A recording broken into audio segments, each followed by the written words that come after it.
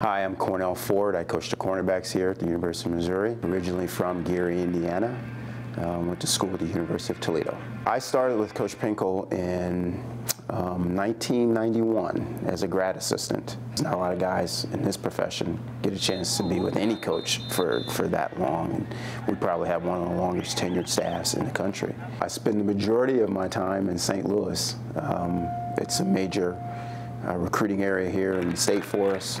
Um, but I also have other areas too. I, I recruit Illinois, uh, Indiana, Ohio as well. He's pretty smooth too, I promise you. Whatever he does, he's pretty smooth. He walks smooth, he talks smooth. He most definitely dress well. You can't tell him, you can't tell him he don't dress well. I mean, he's all around great guy. Over the years, we've had a lot of great players that have come out of the area. Um, probably started with um, Damien Nash was one of the first athletes we got out of there. He did a great job here. Will Franklin was probably my first big time, I think, athlete who came in. Jeremy Maclin was off the charts in what he was able to do here. TJ Moe, Carl Gettis, Blaine Gabbert, uh, Sheldon Richardson, Jimmy Hunt, uh, guys that all contributed to our program and sustained our success. Um, Will Franklin came in and, and kind of started us on the right path, and then Jeremy took it to the next level and was a big part of that. Here he goes, 45, kiss him goodbye.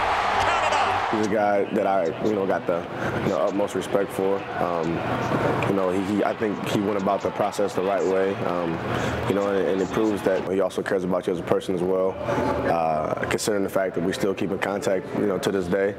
So, um, you know, I, I couldn't have, I couldn't have asked to be put in a, in a better situation to, to help me be successful. My first um, athlete that, that went to the to, to the NFL level um, was an unbelievable athlete. Was probably the fastest kid I've ever seen before. Shadani Mitchell.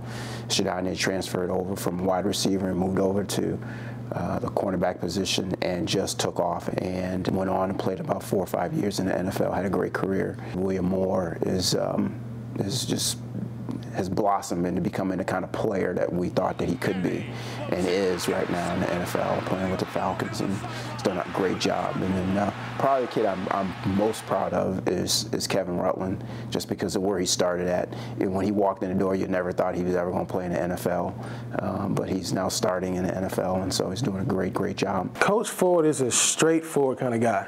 You know, it's not much gray when he speaks. He's going to tell you how he feels. I think it ultimately is the best way to go because you don't somebody to beat around the bush or to tell you lies or anything like that. You know, he's very honest, very straightforward. But I mean, off the field, I mean, he's just as loving as anybody else. You mean, or any other father figure you may have. Got a great relationship with all those kids, and uh, you know, they've been a part of the family here for um, and seen our success, and so they they they still feel like they're a part of the program, which we want them to, because they will always be Tigers uh, forever. They'll be part of the family, as we as we call it here. I think the thing that separates us from every other campus in the country is that the people that work here.